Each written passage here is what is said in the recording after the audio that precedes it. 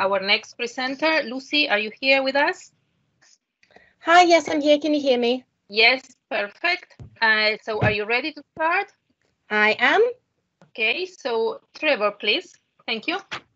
What do you think of when you hear the word cannabis? What does a cannabis user look like to you? Recently, you might have seen in the news a different sort of picture being painted. A young person who's smoking what they think is a harmless plant, only to find themselves starting to hear and believe things that can't be real. Psychotic disorders like schizophrenia might only affect about 1% of the population, but they have such a profound effect on those who do suffer that scientists have made it a priority to find out what's causing these symptoms, and cannabis is often cited as one of the prime suspects. Now, most people who have used cannabis, which is about 30% of the UK, will never get a psychotic disorder. But what we do know is that people who have a psychotic disorder are more likely to be cannabis users than those who don't.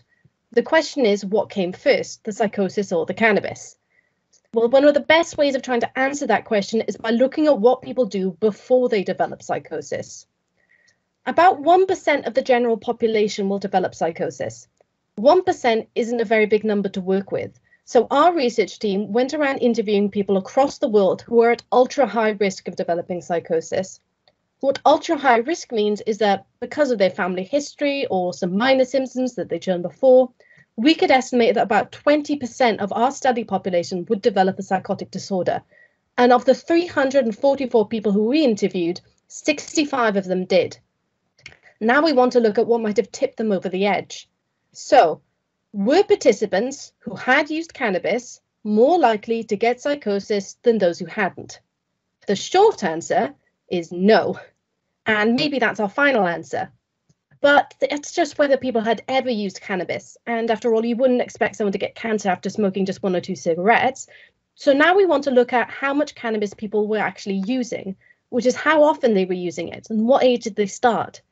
Now, remember that young people's brains are still growing and changing, so it might be that those who start using cannabis very young might see more of an effect than someone who's the same amount but started when they were older.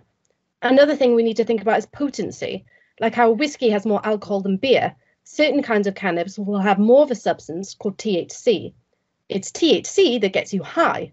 Potentially, it's the THC that also makes you psychotic. Cannabis growers are breeding their plants stronger and stronger to keep up with market demand, and this might be putting people like our study population at greater risk. Around the world, laws around cannabis are changing. The best decisions we can make when it comes to cannabis are those that reduce the overall risk of harm. First, though, we have to understand where the harm really lies. Thank you.